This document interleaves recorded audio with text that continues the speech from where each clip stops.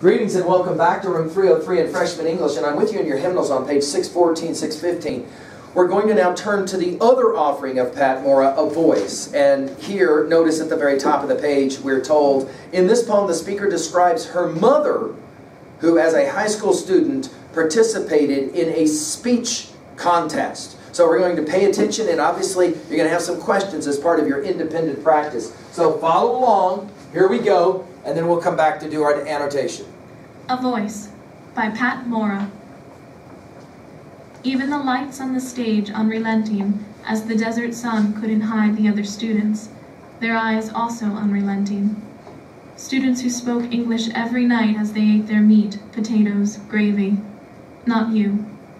In your house that smelled like rose powder, you spoke Spanish formal as your father the judge without a courtroom in the country he floated to in the dark on a flatbed truck. He walked slow as a hot river down the narrow hall of your house. You never dared to race past him to say, please move in the language you learned effortlessly as you learned to run. The language forbidden at home, though your mother said you learned it to fight with the neighbors. You like winning with words. You liked writing speeches about patriotism and democracy, you liked all the faces looking at you, all those eyes. How did I do it? You ask me now. How did I do it when my parents didn't understand? The family story says your voice is the voice of an aunt in Mexico, spunky as a peacock. Family stories sing of what lives in the blood. You told me only once about the time you went to the state capitol, your family proud as if you'd been named governor. But when you looked around, the only Mexican in the auditorium. You wanted to hide from those strange faces. Their eyes were pinpricks, and you faked hoarseness. You, who are never at a loss for words, felt your breath stick in your throat like an ice cube. I can't, you whispered. I can't. Yet you did. Not that day, but years later. You taught the four of us to speak up. This is America, Mom. The undoable is done in the next generation. Your breath moves through the family like the wind moves through the trees.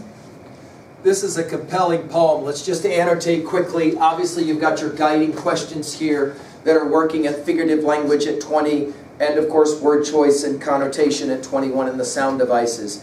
What makes this poem so powerful is, of course, the line on page 614 down five stanzas. The family story says your voice is the voice of an aunt in Mexico, as spunky as a peacock. Family stories sing of what lives in the blood. In other words, you are an extension of the people who raised you. Note the beauty of this poem. It says two things. Let's write it down at level 2a.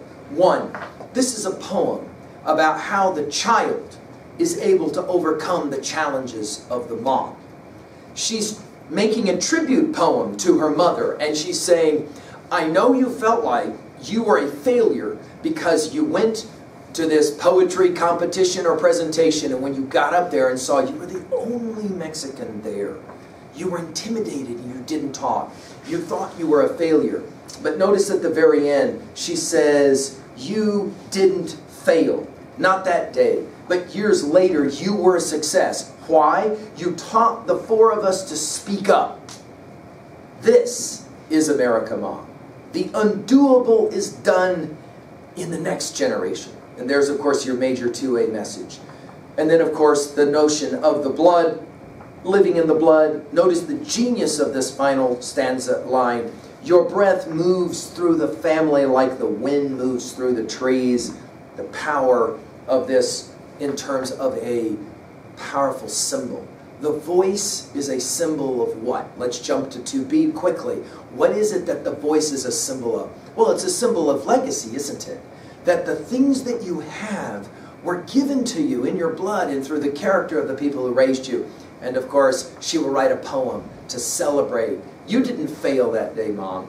Rather, for children, you gave the power of learning a language at level 3A, let's ask this question. In what ways are you an extension of the things that you love the most?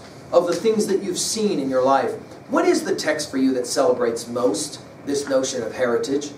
that you are given things by virtue of your upbringing. And then finally, at level 3B, let's ask this question To what degree are you an extension of the people who raised you, who gave you stuff? And to what degree have you told those people, thank you? Maybe a poem is in your future to say to those who raised you, thank you. You didn't fail. You gave me what I needed to keep going, even though it seemed like failure at the time. Well, there's our introduction to poetry and our unit number four. We now will turn to a series of poems and we will begin to address those here as we go forward. Thank you.